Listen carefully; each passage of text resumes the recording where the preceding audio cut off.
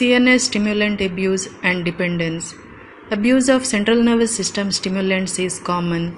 Stimulants work by acting on the central nervous system to increase alertness and cognitive function. They are identified by the behavioral stimulation and psychomotor agitation that they induce. Stimulants can be prescription medications or illicit substances such as cocaine. These drugs may be taken orally, snorted, or injected. The most common prescription stimulants are amphetamines and methylphenidates. Stimulants are often abused for their pleasurable effects from alertness to the euphoric high. Those who frequently abuse stimulants regardless of their intentions are at risk of becoming addicted. Cocaine is the most potent stimulant derived from nature. Over time, even someone who only uses stimulants to help them study or before athletic games may develop a physical dependence on the drugs. Abusing stimulants to enhance athletic performance is particularly dangerous because stimulants increase blood pressure. The combination of physical exertion and stimulants can lead to cardiac arrest or stroke. Effects on the body. Short term effects of stimulants. In the short term, stimulant effects can be very pleasurable and may include intense feelings of happiness, increased alertness or energy, improved attention, decrease in fatigue, increased sexual desire and performance. Long term effects of stimulant abuse. Aside from addiction, there are other adverse effects of chronic stimulant abuse on a person's health. These effects include difficulty in breathing, headache, anxiety, tension, extreme weight loss, sexual dysfunction, gastrointestinal problems, confusion, muscle weakness, aggression, malnutrition, exhaustion, cardiovascular damage, cerebral hemorrhage, stroke, seizure, and sometimes even coma or sudden death. Signs of a person struggling with an addiction to stimulants. They spend a majority of their time seeking out and using the drug. They continue to seek the drug despite harmful negative effects on their health.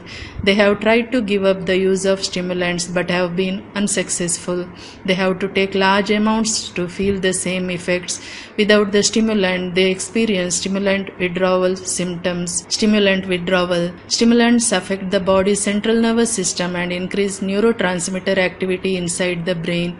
If a person addicted to stimulants quits using them, they will experience withdrawal symptoms as their brain has to relearn how to function on its own. Generally, symptoms present within a few hours to several days after the last use of the drug. Those with co occurring mental disorders and addictions to other substances may experience more severe symptoms as well as longer withdrawal process. Withdrawal symptoms. Each person experiences different symptoms which may vary based on a number of factors like the person's tolerance and metabolism as well as their history of use. Withdrawal from stimulants is characterized by the presence of two or more of the following symptoms anxiety, chills, dehydration, slowed movements, slow heart rate, irritability, hallucinations, paranoia, fatigue, depression, increased appetite, impaired memory, weight loss, sleep disturbances, drug cravings, vivid unpleasant dreams, dysphoria, psychomotor retardation or agitation. One of the biggest risks with stimulant withdrawal is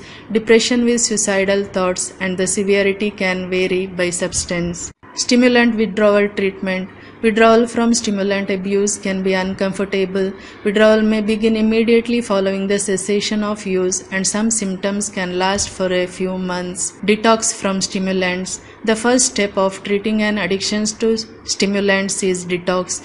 Detox deals with the physical part of the addiction. The type of stimulant used affects how long it takes to detox. Those who abused stimulants more frequently in larger doses and over a longer period of time take longer to detox. After safely detoxing with the help of medical professionals, a person with a psychological dependence on stimulants should seek further treatment at a rehabilitation center. A rehab center will plan treatment according to the individual's needs and usually include group therapy and individual counseling. Many inpatient rehabs and outpatient facilities offer treatment for addiction.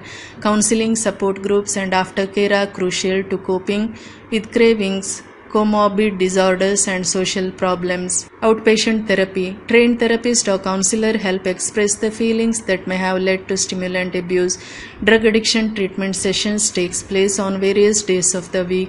This flexible schedule makes it possible for patients to continue with their everyday lives and keep going to work or school. Outpatient centers offer services with the main focus being on education, counseling and offering a support network. An outpatient program is best suited for those with milder forms of dependence, while inpatient programs are recommended for more severe addictions. Inpatient therapy. Inpatient therapy is the most effective treatment option where the individual attends regular therapy and counseling. This involves staying in a facility in which patients are closely monitored, also known as residential rehabilitation. Ongoing therapy is necessary to tackle the psychological part of stimulant addiction. Continue the ongoing treatment even though withdrawal symptoms and the physical need for stimulants have gone, as the cravings for stimulants may arise often. Support groups. There are many support groups available to those who wish to get rid of their habit. Support groups also provide help dealing with the psychological aspects of addiction. Anti anxiety medications and antipsychotics are other prescription options to help with any anxiety or delusions experienced during withdrawal. Thank you.